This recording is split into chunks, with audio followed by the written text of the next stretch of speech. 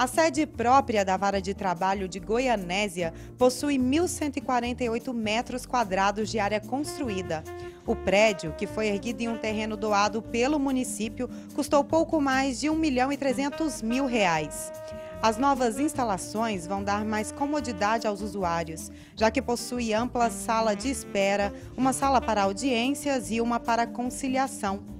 A inauguração do local contou com a presença do desembargador Breno Medeiros, presidente do TRT 18, e o vice-presidente desembargador Paulo Pimenta, além de outros magistrados, servidores, representantes do Poder Executivo e advogados.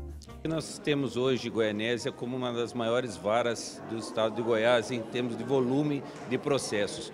Então nós estamos trazendo aqui uma melhor, umas melhores instalações para que o jurisdicionado, tanto o reclamante quanto o reclamado, possa se sentir bem, para que eles possam trazer aqui para essa Casa de Justiça suas pendências e que a gente possa aí trazer a solução da forma melhor possível.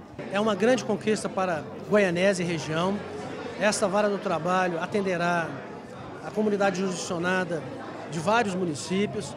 Nós temos um elevado número de processos, de maneira que essa nova sede propiciará mais conforto e segurança para todos que venham aqui resolvendo suas questões. Aproveito para parabenizar a atual gestão do TRT da 18ª região por essa conquista e por essa entrega à população de Goianésia e região.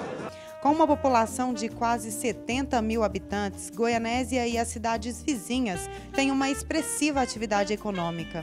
Além do comércio local, os municípios jurisdicionados pela vara trabalhista possuem três usinas de álcool e uma mineradora de grande porte que geram milhares de empregos.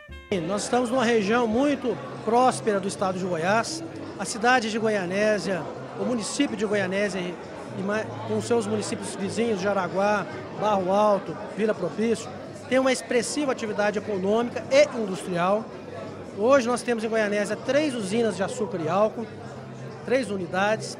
Nós temos em Barro Alto uma mineradora de grande porte, que, é, que geram milhares de empregos. E nós temos, entre no estado de Goiás, uma, uma das varas de maior movimentação processual do estado.